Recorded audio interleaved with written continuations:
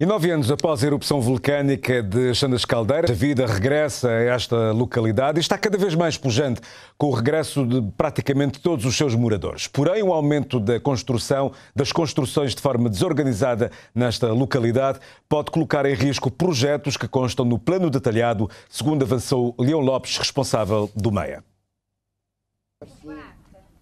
Viver na companhia de um vulcão é estar sujeito a perder tudo, do dia para a noite ou da noite para o dia.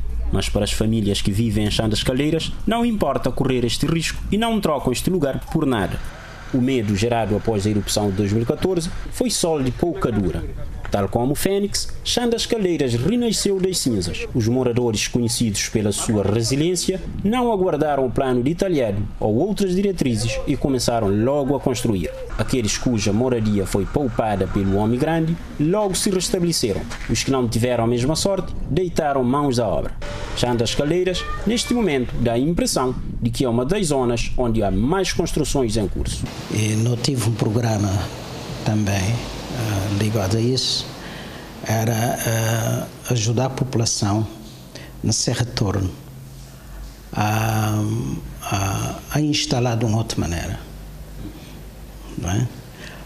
Mas a verdade é que quem que gerir esse parte licem é o poder local, é a Câmara. Não é? Pelo que me perceber, a Câmara também teve muita dificuldade no relacionamento com esse parte licem porque não é fácil trabalhar com aquela população. Uh, quando não tive uma cozinha mais perto, não estava a fazer o discurso, espera, ninguém te, te, te, condicionar. Mas, por exemplo, ali tem um plano, não é? Esse plano não te respeitar, porque é vários especialistas que trabalham nele. Não te podemos jurar do dia a dia, até uma população, não é?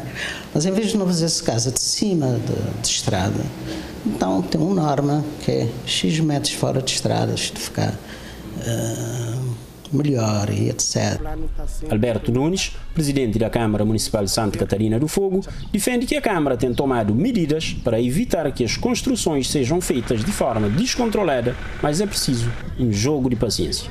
A Câmara tem estado também a, a, a dialogar com as famílias que estão aí a fazer as construções e, e, não é fácil, digamos assim, uh, trabalhar com as pessoas que construíram, digamos assim, os seus pertences, os seus bens ao longo de vários anos e em poucos dias perderam aquilo que eles construíram em vários anos.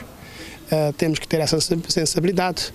Uh, a forma como nós atuamos com as pessoas de Santos Caldeira é um pouco diferente que nós atuamos com as pessoas das outras localidades. E é o que temos vindo a fazer é, há, há, há, construções, sim, mas temos vindo a dialogar com eles e estão a tentar a, a enquadrar as construções de acordo com as orientações da Câmara e das outras autoridades que têm competência sobre o território.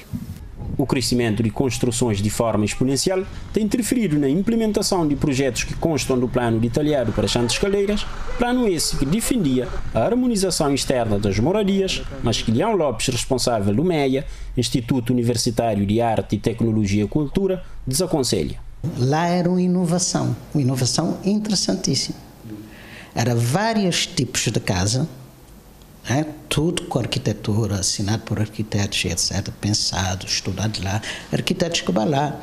Não tive um sociólogo na equipe, arquitetos que vão falar com pessoas, entrevistar pessoas, para dizer, vocês casam, nem você estava a gostar. E se fosse assim, tal, não sei o quê, e bata de fazer. Então, a ideia era, uh, cada família podia escolher uma casa diferente mas dentro daquela linguagem, assim nunca tinha casinhas tudo igual, está entender? Nós não, nunca temos autoridade lá, não está lá como uma instituição académica, né? O governo teve um programa sério, importante para lá, nessa área ele sim, mas ele que, ele que corre muito bem. Nunes não concorda e avança que a Câmara vai continuar a mobilizar parceiros e recursos para que o plano chegue a bom porto. Havia um número de casa identificado que o, o contrato abrange.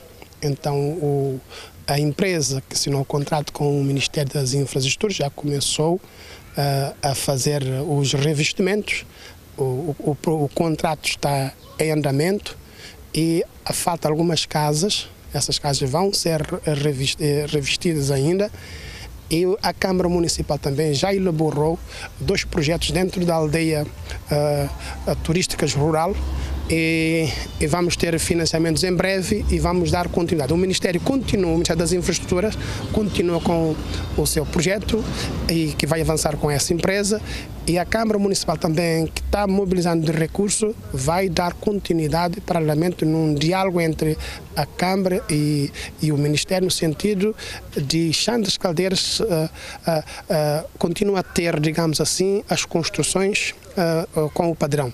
Quanto ao novo assentamento de Bangueira, Nunes acrescentou que os lotes já identificados vão ser entregues às famílias que estão inscritas e vão receber uma quantia de 600 mil escudos para iniciar as construções.